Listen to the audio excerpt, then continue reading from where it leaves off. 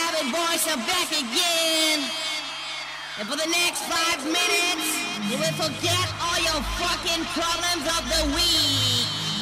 Thanks God, it's the